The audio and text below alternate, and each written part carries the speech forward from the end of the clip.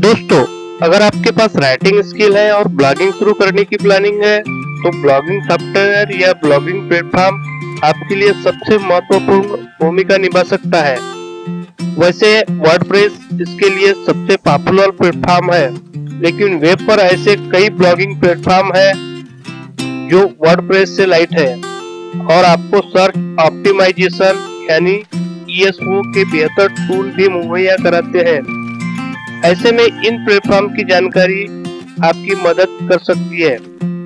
WordPress, यह दुनिया का सबसे लोकप्रिय ब्लॉगिंग प्लेटफॉर्म है। ब्लॉगिंग और यूज़ करने में आसानी के चलते इसको 30 फ़ीसदी वेबसाइट में यूज़ किया जाता है। यह कई पॉपुलर ऑप्शन देता है, जैसे फॉन्ट व कस्टम लुक ऑप्शन वाली सैकड़ों थीम एक्सपर्ट सपोर्ट और उपलब्ध प्लगइन के ज़रिए इंटीग्रेट क्रेडिट कार्ड पेमेंट को स्वीकार करना, इसका पर्सनल मास्टान लेने वालों को सालाना बिल दिया जाता है, जो वर्डप्रेस से सभी विज्ञापनों को हटा देता है। इसके अलावा फ्री टीयर भी उपलब्ध है, जो नॉन कमर्शियल ब्लॉग के लिए उपयुक्त है। टम्बलर मोबाइल फ़ोन पर यूज़ करने में बेहद सरल और फ्री माइक्रो ब्लॉगिंग के लिए लोकप्रिय टम्बलर में 421 मिलियन ब्लॉग है। लेकिन इसके ज़रिए यूज़र कमाई नहीं कर सकते, क्योंकि उनका कंटेंट टम्बलर इकोसिस्टम में ही रहता है।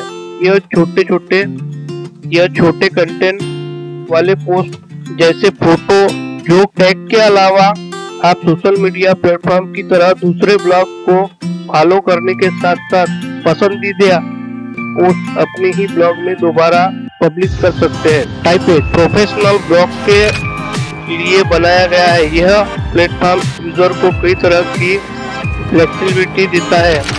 जैसे ईमेल, वेब ब्राउज़र या मोबाइल में कंटेंट लेकर पब्लिश करना।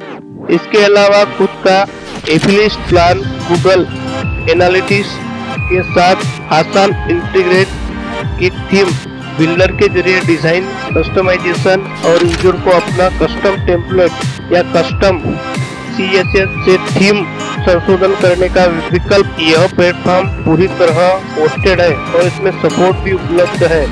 इसके शुरुआती 14 दिनों के फ्री ट्रायल के बाद यूज़र शुल्क वाले मासिक प्लान चार ब्लॉक तक असीमित स्टोरेज ले सकते हैं। जेकिल, कई एडवांस फीचर वाला यह ब्लॉग प्लेटफॉर्म है, लेकिन यूज़र फ्रेंडली नहीं माना जाता, क्योंकि इसमें केवल कम्युनिटी सपोर्ट और इस पर काम करने के लिए उर्दू प्रोग्राम का नॉलेज होना ज़रूरी है।